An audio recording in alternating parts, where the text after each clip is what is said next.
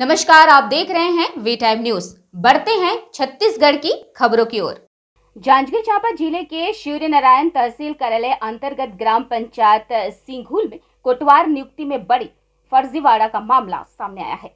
जहाँ ग्रामीणों ने जांजगीर कलेक्ट्रेट कार्यालय में पंच सरपंच के खिलाफ शिकायत कर गंभीर आरोप लगाते हुए बताया कि पंच सरपंच द्वारा नव नियुक्त कोटवार से मोटी रकम लेन देन कर अपात्र व्यक्ति तेरस कश्यप पिता सदाराम कश्यप को ग्रामीणों के बिना सहमति के कोटवार नियुक्त किया गया है, जिससे कि ग्राम पंचायत सिंघुल के सभी ग्रामीण काफ़ी आक्रोशित हैं।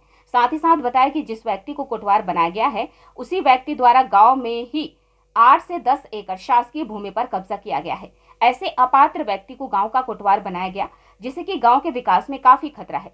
तो वही दूसरी तरफ़, पूर्व कोटवार के इस्तीफा देने के बाद नियमतः गाँव की सर्वसहमति से नए कोटवार की नियुक्ति किया जाना था, परंतु पंच सरपंच द्वारा मनमाने तरीके से गाँव के ही तेरस कश्यप, पिता सदाराम को कोटवार बना दिया गया है। तो दूसरी तरफ़ न्याय मिलने के आस में पूर्व कोटवार की पत्नी सरकारी दफ्तरों के चक्कर काट रही है।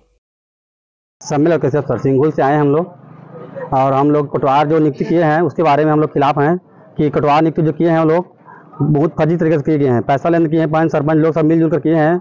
हम लोग जब सरपंच के पास गए थे, सरपंच बोले थे कि हम लोग गाँव में बैठा कर उनको नियुक्ति करेंगे। उसके बाद लोग अपने फर्जी तरीके से किए हैं, इसलिए हम लोग उसके खिलाफ आपत्ति करने कलेक्टर ऑफ़िस आए हम लोग सर लोग को आवेदन देने के लिए। और इसमें जो है ये लोग निर्णय नहीं करेंगे तो हम लोग चुनाव के बारे में गाँव में पूरे इकट्ठे होकर गाँव में चुनाव होने नहीं देंगे।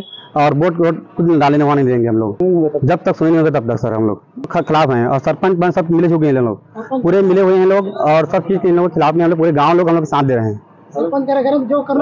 हैं और सरपंच बोले थे कि तीन करोड़ का भी बात किए थे हम लोग बैठक किए थे तो कि गाँव में इतने पंच जो क्या कोटवार जो बनेंगे उसके तो इतने ज़मीन मिलेगा पंद्रह एकड़ बोल के इसके बारे में भी बोले थे।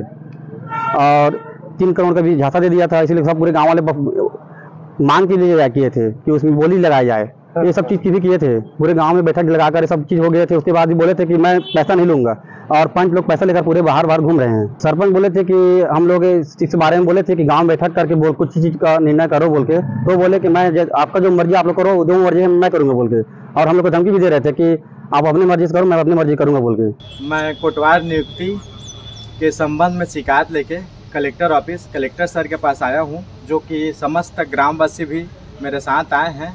और सरपंच शांति भाई पति घासीराम और पंच और सचिव मिल के पैसा लेके जो है तेरस राम कश्यप, पिता सदाराम से पैसा लेके कोटवार नियुक्त उनको कर दिए हैं, जो कि गाँव के खिलाफ हुआ है।